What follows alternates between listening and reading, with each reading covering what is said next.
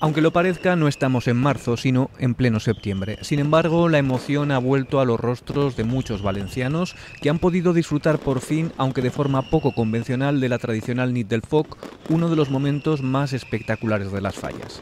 La pandemia obligó a aplazar al verano estas exuberantes fiestas pirotécnicas con la esperanza de que la vacunación permitiría celebrarlas de una forma más libre.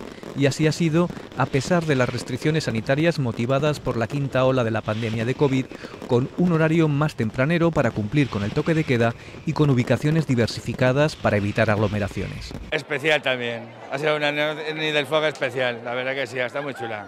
Bien, muy, ha sonado muy bien y bueno, pues eh, lo que hay, ¿no?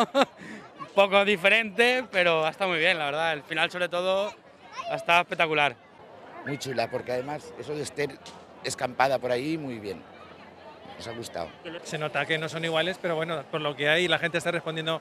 Había muchas ganas de fallas y entonces yo creo que se lo está pasando muy bien. Estas atípicas y estivales fallas del 2021, que tienen su punto final en la crema del domingo, serán recordadas por la omnipresencia de las mascarillas, los controles de aforo y la necesidad de mantener las distancias de seguridad, pero también por las ganas de los valencianos de poder mirar al cielo y ver estallar las estrellas en colores.